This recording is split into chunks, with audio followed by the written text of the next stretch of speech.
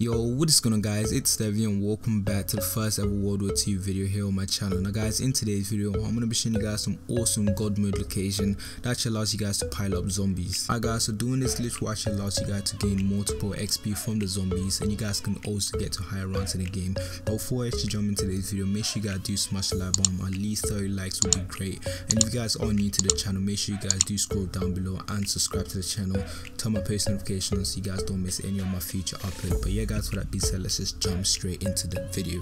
Alright guys, so the first thing you guys want to do once you guys do spawn inside the game is to just go and unlock this door. Now once you guys do unlock that door, you guys will get the access to come inside the middle of the village. Now from here, you guys want to go ahead and turn every single power on in order to unlock the bunker. And once you guys do unlock this, just go ahead and follow me. Now move forward, you guys will get to this big room. Turn left to the first entrance and you guys want to go through it. You guys will see this corridor. You guys want to turn right and then turn left. Once you guys do turn left, you guys will get to this weird ass looking room. Now turn left and you guys should see the staircase. Just keep walking up here and you guys should see this little ledge. Now once you guys are here, you guys want to jump and do a strafe jump. You guys can also do the crouch jump if it works for you. But if you guys want, if you guys don't know how to do the strafe jump, I'll actually make a video on how to do it. But from now, you guys just want to go ahead and do the strafe jump to this little ledge. Now once you guys are here, you guys are basically in a god mode location. You guys can pile up a lot of zombies and kill them.